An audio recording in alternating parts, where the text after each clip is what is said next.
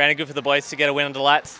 Yeah, definitely. I think it's our last night game uh, for the year. So yeah, it's good to get out there and get another win and go into uh, was it round eight, four and four, which is good. Thanks for everything at us in the third quarter. Good to see the boys hold on and bounce back. Yeah, definitely. Uh, they came back really hard. They won, went in harder probably than us in the third quarter, but um, yeah, we responded and uh, yeah, it was good to come over the points in the end. What do you think made the difference for Freo out there?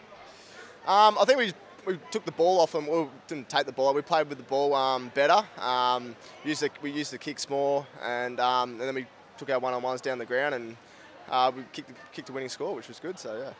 Missing Walters up front, missing Taberner, kind of wondering where the goals could come from. And turns out everybody had 11 individual goal kickers.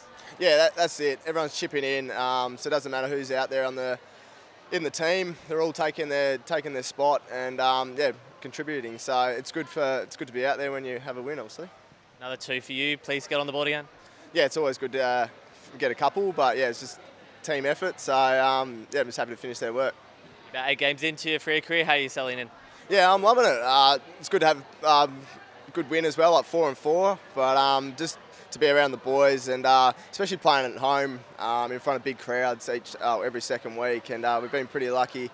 Um, to, well, I think we've won most of our games, at, all of our games at home except for the one. But um, yeah, so it's awesome, awesome playing back here.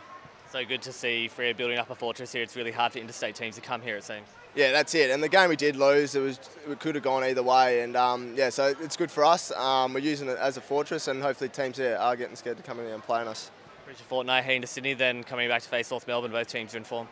Yeah, Sydney's going to be um, going to be a tough challenge for us, but um, I, think they, I think they haven't won at home yet, which is good for us. So we can, if we can challenge them, get in small ground, so we're going to have to win the contested footy inside and get it get it going our way, and hopefully we can uh, yeah kick a score. Great, thanks, Brandon. Thank you.